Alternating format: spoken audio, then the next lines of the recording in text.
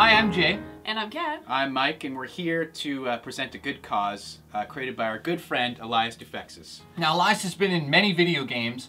Many from, violent video games. Well, yeah, like uh, Splinter Cell, Deus Ex, all He- those, all those good ones. He was on our show. He's, he plays Adam Jensen uh, in Deus Ex: Human Revolution. He's doing something for charity, so if you can go to the link in the underbar, check out his video. It's very important. Tell them what it's for, Kidney. It's about gamers for Sandy Hook. So it's basically donations that are going towards that charity. So if you go to the video, watch his video, he'll explain it a little more, and he has a link that you guys can donate to and help a good cause. It's important for us gamers to show the world that we care, and violent video games doesn't make crazy people. So there's a link in the outer bar. Check it out. Watch Elias Toufexis. It's for gamers for Sandy Hook. And listen to his sweet voice. Bye! Bye.